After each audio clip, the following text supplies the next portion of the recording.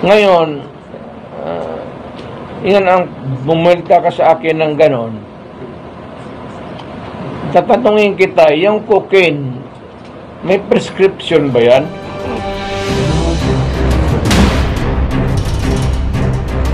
Yan nilalagay yan para to ease the pain. Pero nung na-opera na ako, okay na ako. And that was about 8 or 7 years ago. Shortly before I uh, ran for uh, the presidency. Magkaroon ako ng talagang masakit. Itong fentanyl po, uh, Mr. President, it is prescribed by a doctor, may prescription yan. O ito yung fentanyl patch. Parang ganunin mo yan, malaki man yan, eh, guntingin mo sa apat, ganon. Tapos, isa ito, it talks for about mga 6 hours, 7. Wala na, palitan mo na naman. And it is prescribed by the doctor.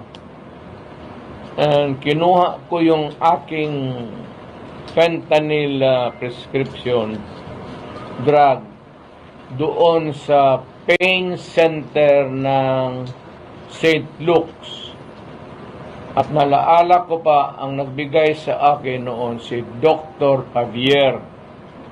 So I'm giving you the name and my doctor. Pagkatapos noon po, gumaling na ako Mr. President, hindi na ako nagpentanel. Hindi ko na kailangan eh. Ngayon, ah, yan ang bumulta ka sa akin ng ganon. Tatanungin kita, yung cocaine, may prescription ba yan? Saan mo kinukuha yung supply mo? Alam ko ang tao nung dumadala sa diyan sa Malacanang. Body-body mo yan sila. As a matter of fact, yung yung yung yung yung yun yan sa cabinet mo. Yung mga body-body mo noon, sa binata pa kayo, kasama mo yan sila, kung nandito ka sa Davao, hirit ng hirit kayo ng cocaine, doon sa Tadeco, yan, gusto kong palanganan, nan, na, nan, nan, nandiyan sa Malacanang yung isa, gusto trabaho. Uh, at yung iba, gusto mo pangalanan ko. Pero, ano na kasi, tayo na lang, kasi wala naman silang kasalanan.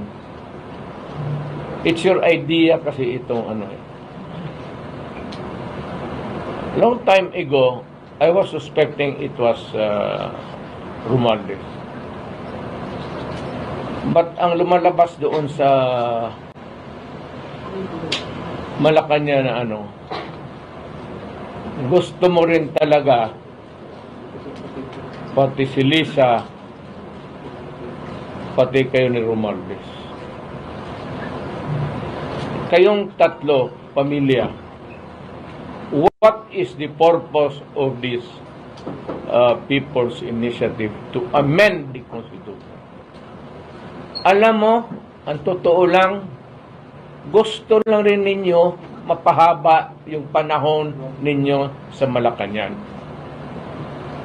And just what I said yesterday, itong mahirap sa politikon mga Pilipino, once they are elected, karamihan, except for a few, siguro wala, ang isipin, pag nakaupo na, kung papaano gagawin na para sila tumagal sa pwesto. Your father and ikaw, walang ik- hindi talaga nagkaiba. At sumusunod ka talaga. And I said that if you continue if you do not stop this nonsense, you will go out of Malacanang the way exactly when it happened during your father's time. Maniwala ka sa akin. Huwag ka mag-asa niyan sa military na sa iyo yan. Hindi sa iyo yan. Pagdating sa panahon magkagulo, they have to intervene because there will be bloodshed. And of course, you have to keep order in this country. Pero ikaw ang nag-umpisa sa nagulo, hindi kami. Eh, ang inyo lang naman is to is side by side presidential republican presidential type of government eh, i-immerse niyo tapos existing yung mga officers so ang speaker si Romualdez he becomes the prime minister ikaw gawain ka lang ceremonial president oh, tapos After a few years, kung hinog na yung anak mo, gusto mo nang ipasok na naman. Yan ang nakaproblema, ma'am. Huwag ninyong gawain yan. Ferdinand Marcos, huwag mong gawain yan kay pumalpak kayo dahil dyan. Milagro na lang na binigyan kayo ng pagkakataon ng Panginoong Diyos na maupo lang naman sana ng madaling panahon and to redeem your name. You are not doing anything to redeem your name. You are there, nagkakalat ka, and maybe suffer the same fate. Hindi mo talaga madala. Maniwala ka. Take it from me. Kaibigan tayo. Kaya ayaw ko nga sana bitawan nung mayor ako sabi mo ngayon, mga PDEA, ang PDEA, oh, wala raw record. Itong mga PDEA na itong mga ugok na to. Sino ba nung gagong PDEA magbigay ng ikaw ang PDEA magbigay ko, Sir, ito yung record mo doon sa narco. It is natural that they will refuse to give it to you. But anyway, Hanapin ko yon hindi man tinanggap yon pero hanapin ko ron, as soon as it comes into my hands, I will release it. But when I was mayor, lumapit sila because they're worried that you are a Marcos. Sabi nga nila, paano to sir? Sabi ko nga, ano na? Pagkita, tabi mo yan. Kung baka yung record, tinabi na talaga. Pero alam mo itong mga military, hindi naman tinatabi lahat yan. Nag-iiwan yan ng copy nila. For their protection. Nandyan yan. Maghintay ka lang. Yan ang problema. Hindi siya nag uh, kita tuloy hindi na ako maka Yung balita ko, si, ito ba si Lisa? Hindi ko ito kilala. Uh, wala, hindi ko talaga. Total stranger. Pero nung mayor ako, nabalitaan kong galit siya. Kasi ito si Bong, lumapit sa akin, Bonggo, may galing request daw nila, I do not know if it's Ferdinand Marcos o Lisa, gustong mag Department of Agriculture Secretary. Sinabi ko, Bong, sabihin mo na kaagad, right at the start, hindi ko pwedeng kunin yan kasi drug addict yan. Huwag mong isali yan sa kabinete ko.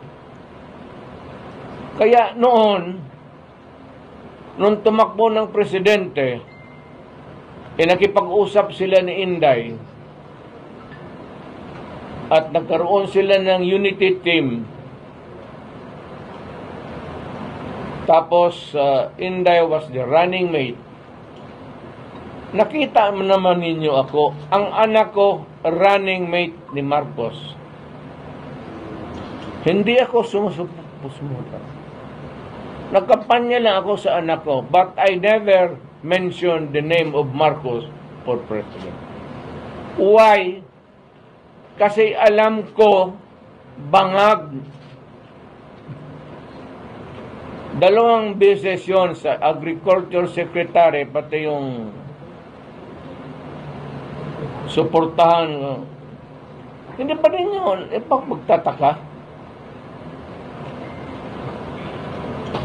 Ng anak ko, running mate niya. Hindi naman ako nag-isang salita paski dito sa Davao na suportahan natin. Yun ang mga corrections na dapat ah, kasi pag hindi, baka maging totoo. You know, a lie repeated a thousand times, baka maging totoo. Dito pa lang supalpalin ko na kayo. Pero yung PDEA na yan, may naiwan.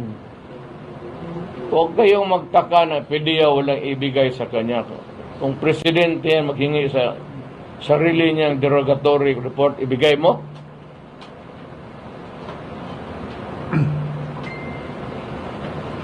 Siyempre, magsabi talaga wala. Tingnan mo, pag nawala na si Marcos, di ba maglabasa na naman yung Lupuhan, yung PDEA.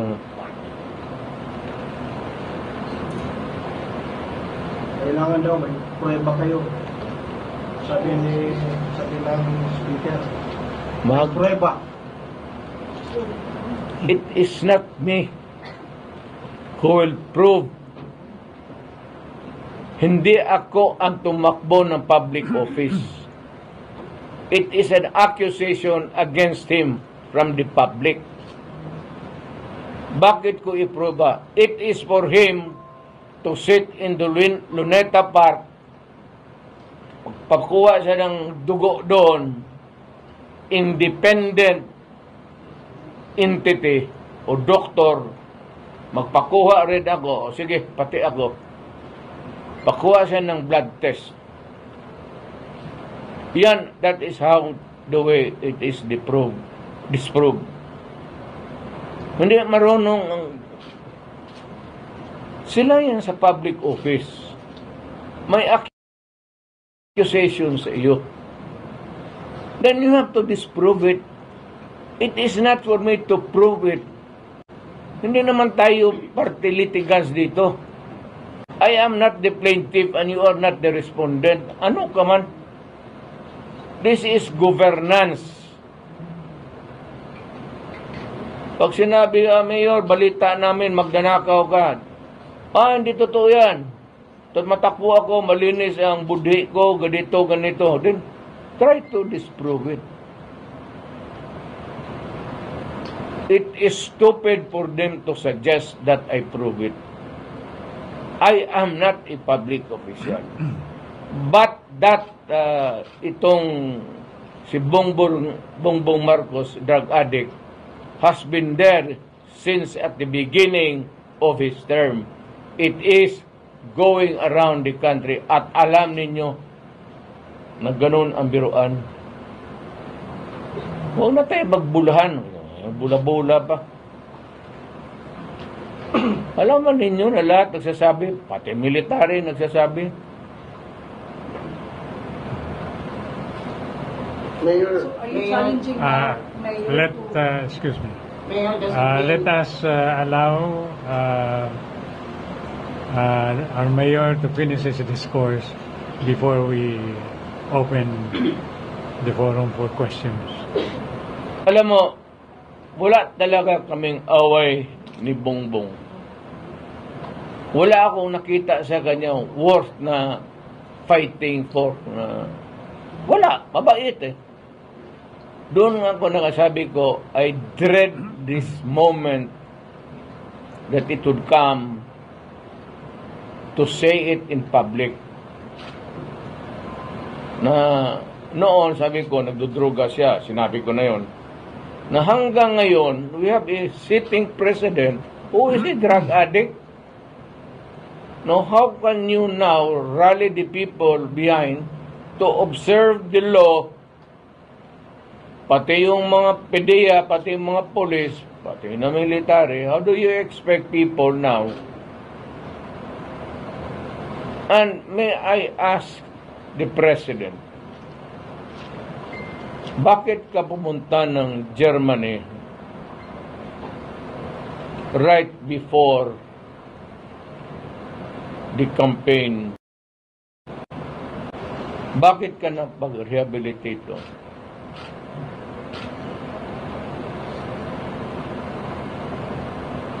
Hindi ko rin sinasabi nagpa-rehabilitate ka ng drug. But bakit ka pumunta doon at pumasok ka ng rehab center?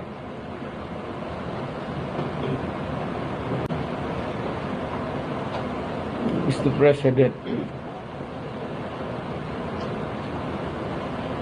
ang amin lang naman sana, eh, sinabi ko naman sa inyo, yun o, si Lisa, ikaw, pati si Romualdez. Ang politika ng Pilipinas, kayo lang ba? Did you consult the people? Nag, nag, ano, nag-conduct ba kayo ng public hearing itong mga congressional district? Sound off kung anong gusto ng tao. Wala eh. Basta pagdating noong decided na mayroon ng ampera sa Congress, walang limit yan. Kung magpa-imprinta bukas ng si Romualdez ng isang truck na. Pera, he does, not care about how the value of the peso would go